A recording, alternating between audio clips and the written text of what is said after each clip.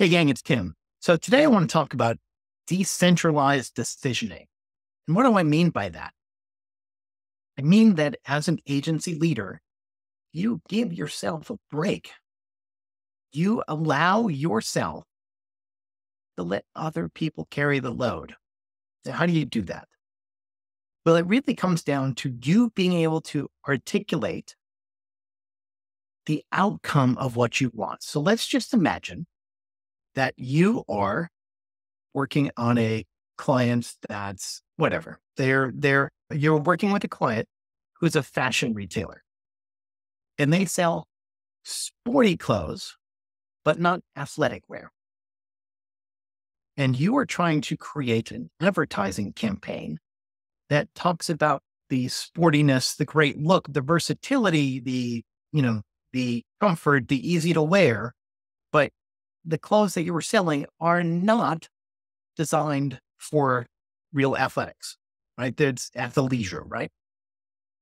So imagine you're doing, I don't know, you're doing SEM marketing, you're doing, you're doing uh, Google AdWords. Now in keyword research, you might come out with the idea that, you know, that running pants for women is a great keyword term for you. And so if you just tell your team to go generate keywords that are relevant to this site that they see without really defining what the client is trying to accomplish, your team might actually think like, oh yeah, running pants for women is a great term. It's it's got high intent, you know, and it's and it's, you know, we we can rank for it or we can advertise against it. And I think that this is a good term.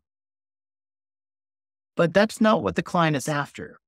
What they're looking for are clothing for women and men or whomever. They're looking for clothing that feels sporty but is really comfortable. Things you're not going to go running in. So, running pants for women would be a terrible term to advertise against or to optimize for from a search engine perspective. So, you might want to clue your team in to let them know that, you know, we're not going after sporting terms. We're going after terms that are about comfort and style.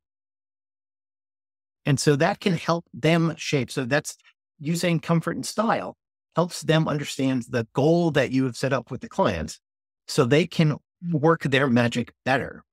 Now, how does that reduce the number of decisions that you make? Well, it's really pretty simple. If you are good enough at setting up the outcome, it's pretty easy for your team to say, oh, hey, is my output, does my output match the definition that we have? Or if you've got a workflow set up, does my output provide enough value for the next person in the workflow so that they can continue this work and make it fantastic? So is it connected to the goal? And is it appropriate to hand off to the next person? And so if you can set up your team this way so that they know what the big goal is and they know what other people on the team expect from them, then you have to do a lot less checking. You have to do a lot less management.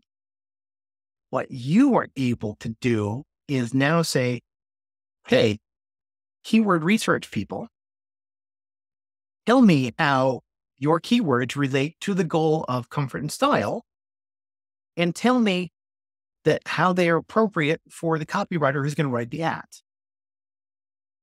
Simple. Like you have now put the responsibility of checking and proof onto your team because they really understand the the desired outcome of the project, the big goal, comfort and style clothes, and the desired outcome for the next person in the workflow. So that requires more responsibility and ownership on the part of the team. And you might be concerned that your team is not ready for that. But what I can tell you is that giving them ownership and autonomy creates the desire for success because they don't want to do a bunch of work and have you say, like, oh, that's no good. So if you're saying, here's the outcome that I want. Here's that that I want and that the client wants. And here's the outcome that the next person in the workflow expects. Manage your work like a grown up so that those two conditions are met. And that really empowers your team to make decisions on their own because they know what the parameters are. They know what they're being judged on and they know what the expectations are. And so, if they cannot manage to those clear expectations that you've set out, or they cannot produce in accordance with the expectations of your client, sorry, of the next person in the workflow, well, then there's a problem with that person.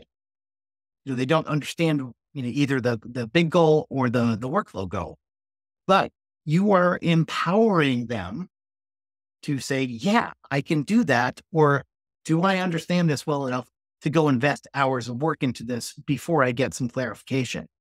So what this does is it puts the onus for quality assurance, for relevance, for ease of use and delivery onto your team rather than them giving you stuff that you need to assemble. And if you are able to make the expectation of the company and client goal clear and the expectation of the workflow output clear,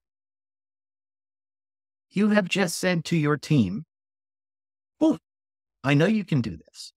I know that you have the skills and resources to be able to accomplish this task.